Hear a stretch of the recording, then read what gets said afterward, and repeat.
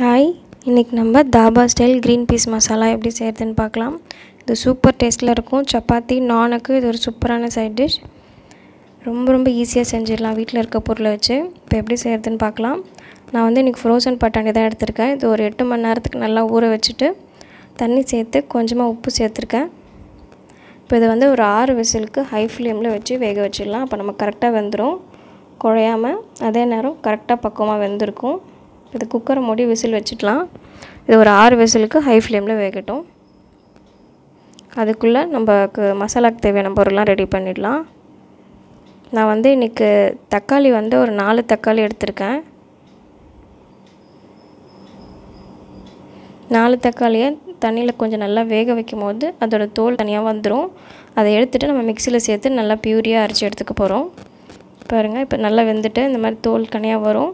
அதை பீல் பண்ணி எடுத்துகிட்டு நம்ம மிக்சியில் ஜாரில் சேர்த்துட்டு நல்லா ஃபைனாக பியூரியாக அரைச்சி எடுத்துக்கலாம். இது கொஞ்சம் நேரம் ஆறட்டும். அதுக்குள்ளே நம்ம வந்து க்ரீமாக வரத்துக்கு ஒரு பேஸ்ட் அரைக்க போகிறோம் அதுக்கு வந்து ஒரு நாலு ஸ்பூன் எண்ணெய் ஊற்றிக்கோங்க எண்ணெய் கொஞ்சம் கூட தான் ஊற்றணும் அதில் வந்து ரெண்டு பெரிய வெங்காயத்தை இந்த மாதிரி மீ நீளமாக கட் பண்ணியிருக்கேன். அதை சேர்த்துட்டு நல்லா வதக்கிக்கலாம். வெங்காயம் வந்து நல்லா சாஃப்டாகணும் அது வரைக்கும் வதக்கிக்கலாம். உப்பு எதுவும் இப்போ சேர்க்க வேண்டாம். நீங்கள் அப்படியே பொறுமையாக வதக்கிக்கோங்க. இப்போ நல்லா சாஃப்டாகிடுச்சு இது கூட நான் வந்து பத்து பாதாம் சேர்க்குறேன். நீங்கள் பாதாம் பதிலாக முந்திரி இருந்தாலும் சேர்த்துக்கலாம். நல்லா டேஸ்ட்டாக இருக்கும். என்கிட்ட இன்றைக்கி பாதாம் தான் இருக்குது ஸோ நான் பாதாம் சேர்க்குறேன். இது ஒரு ரெண்டு நிமிஷம் நல்லா வதக்கிட்டு இது ஆறு வந்து மிக்ஸி ஜாரில் சேர்த்துட்டு நல்லா ஃபைனாக பேஸ்ட்டாக அரைச்சிக்கணும். நல்லா மையாக அரைக்கணும். இந்த மாதிரி க்ரீமாக அரைச்சி எடுத்துக்கோங்க. இதை நம்ம கடைசியாக சேர்க்க போகிறோம் இப்போ தக்காளியும் நான் இந்த மாதிரி பியூரியாக அரைச்சி எடுத்துட்டேன். இப்போ எல்லாம் ரெடியாக இருக்குது நம்மளோட பட்டாணி வெந்திருக்கு. பார்க்கலாம்.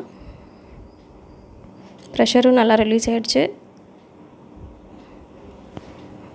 பாருங்கள் சூப்பராக வந்திருக்கு. எதுவும் தோலும் கழண்டு வரல. அதே நேரம் சூப்பராக வெந்திருக்கு. குழையவும் இல்லை. இப்போ இந்த தண்ணியோடவே நம்ம சேர்த்துக்கலாம். இது எப்படி இருக்கட்டும். இப்போ நம்ம மசாலா செய்ய ஸ்டார்ட் பண்ணலாம்.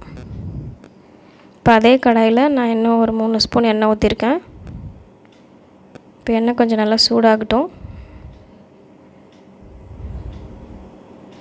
இதில் வந்து ஒரு அன்னாச்சி பூ ஒரு ஏலக்காய் ரெண்டு கிராம்பு கொஞ்சமாக பட்டை சேர்த்துருக்கேன். நான் எல்லாமே கொஞ்சம் கொஞ்சம் தான் சேர்க்குறேன். உங்களுக்கு இந்த வாசனை பிடிக்கும்னா நீங்கள் இன்னும் கூட கொஞ்சம் அதிகமாக சேர்த்துக்கலாம். இதில் வந்து ஒரு பெரிய சைஸ் வெங்காயத்தை நம்ம நல்லா பொடி பொடியாக கட் பண்ணிக்கோங்க. அப்போ தான் நம்ம கிரேவி நல்லா திக்காக இருக்கும். இது நல்லா ரோஸ்ட் ஆகணும். ஒரு ரெண்டு நிமிஷத்துக்கு நல்லா வதக்கிக்கோங்க. இப்போ நான் வந்து ஒரு ரெண்டு பச்சை மிளகா ஒரு நாலு பல் பூண்டு ஒரு துண்டு இஞ்சி வந்து நல்லா பேஸ்டாக்கி எடுத்து வச்சுருக்கேன். அதை சேர்த்துக்கலாம். இப்போ இந்த பச்சை வாசனைலாம் போகணும். அது வரைக்கும் நல்லா வதக்கிப்போம். இது ஒரு ரெண்டு நிமிஷம் நல்லா வதக்கிப்போம். இப்போ இஞ்சி பூனோட பச்சை வாசனைலாம் போகணும். இப்போ வந்து இதில் மசாலாலாம் சேர்த்துக்கலாம். நான் வந்து ஒரு கால் ஸ்பூன் மஞ்சள் சேர்க்குறேன். ரெண்டு டேபிள் ஸ்பூன் வந்து காஷ்மீரி தூள் சேர்க்குறேன். இது காரம் வந்து இப்போ கரெக்டாக இருக்கும். ஒரு ரெண்டு டேபிள் ஸ்பூன் சேர்க்கறனால கலரும் கரெக்டாக வந்துடும் ஒரு அரை ஸ்பூன் வந்து கரம் மசாலா சேர்த்துருக்கேன். இப்போ இது எண்ணெயிலே நல்லா பரட்டி விட்டுக்கலாம். இப்போ இது நல்லா பச்சை வாசனெலாம் போயிடுச்சு இப்போ இது கூட வந்து நம்ம அடித்து வச்சுருக்க தக்காளி பியூரி சேர்த்துக்கலாம். இப்போ தக்காளியோட பச்சை வாசனைலாம் போயிட்டு நல்லா வெந்து எண்ணெய் பிரிஞ்சு வரணும். அது வரைக்கும் நம்ம நல்லா வதக்கிக்கணும். இப்போ வந்து குழம்புக்கு தேவையான உப்பை மட்டும் சேர்த்துருவோம். இப்போ இதை நல்லா மிக்ஸ் பண்ணிவிட்டு மூடி போட்டு வேக வச்சிடலாம். ஒரு அஞ்சுலேருந்து எட்டு நிமிஷத்துக்கு. நீங்கள் நடு நடுவில் எடுத்து நல்லா மிக்ஸ் பண்ணி விடணும். அப்படியே விட்டிங்கன்னா அடி பிடிச்சிரும். இப்போ இதை மூடி வச்சிடலாம். இப்போ ஒரு ஆறு ஏழு நிமிஷம் ஆகிருக்கு பாருங்கள் நல்லா எண்ணெய் பிரிஞ்சு வந்திருக்கு. இந்த ஸ்டேஜ் வர வரைக்கும் வச்சிங்கன்னா குழம்பு நல்லா டேஸ்ட்டாக இருக்கும். இப்போ இது கூட வந்து நம்ம கொஞ்சமாக நம்ம வேக வச்சு எடுத்துருக்க பட்டாணியை சேர்த்துப்போம். இப்போ இது கொஞ்சமாக நம்ம வந்து இது கூட சர்க்கரை சேர்க்கணும். ஏன்னா இந்த டிஷ்க்கு நம்ம சுகர் கொஞ்சம் சேர்த்தோன்னா நல்லா டேஸ்ட்டாக இருக்கும். அந்த புளிப்பு ரொம்ப தெரியாது எல்லாமே பேலன்ஸ்டாக இருக்கும். ஸோ நான் இப்போ கொஞ்சமாக சர்க்கரை சேர்த்துக்கிறேன். ஒரு ஒன்றரை டேபிள் டீஸ்பூன் அளவுக்கு சேர்த்தா போதும். ரொம்பவும் சேர்க்கக்கூடாது அப்போ ரொம்ப இனிப்பாயிரும்.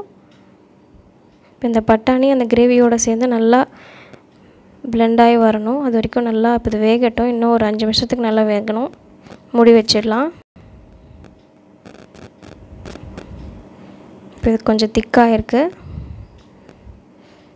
பாருங்கள் இப்போ வந்து நம்ம அடித்து வச்சுருக்க வெங்காயம் பாதாம் பேஸ்ட்டை சேர்த்துக்கலாம். பாதாம் சேர்க்குறத விட முந்திரி சேர்த்திங்கன்னா நல்லா ரிச்சாகவே இருக்கும் கிரேவி. இப்போ அந்த பேஸ்ட்டை நான் இதுக்குள்ளே சேர்த்துக்கிறேன் சேர்த்துட்டு நல்லா மிக்ஸ் பண்ணிக்கலாம். இப்போ நம்ம கிரேவி நல்லா திக்காக கிடைக்கும். இன்னும் கொஞ்சம் நேரம் கொதித்தா நல்லா திக்காயிரும். இப்போ நான் மிக்சியை மட்டும் லைட்டாக அலசிட்டு அந்த தண்ணியும் சேர்த்துருக்கேன். இப்போ இன்னும் ஒரு அஞ்சு நிமிஷம் இது நல்லா கொதிக்கட்டும்.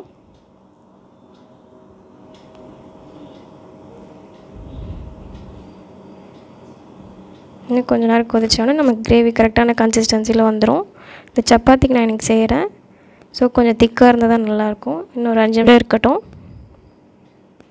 பாருங்கள் நல்லா எண்ணெய் பிரிஞ்சு வந்துருச்சு. நான் கடைசியாக கொஞ்சமாக கஸ்தூரி மேத்தியை லைட்டாக க்ரஷ் பண்ணிட்டு சேர்த்துக்கிறேன்.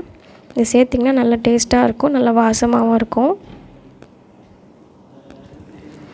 இப்போ மிக்ஸ் பண்ணிவிட்டு ஒரு ரெண்டு நிமிஷம் கழித்து நம்ம ஸ்டவ் ஆஃப் பண்ணிடலாம். இப்போ சூப்பரான டேஸ்ட்டில் dhaba style green peas masala ready ஆகிடுச்சு ரொம்ப டேஸ்ட்டாக இருக்கும். நீங்கள் கண்டிப்பாக ட்ரை பண்ணி பாருங்கள்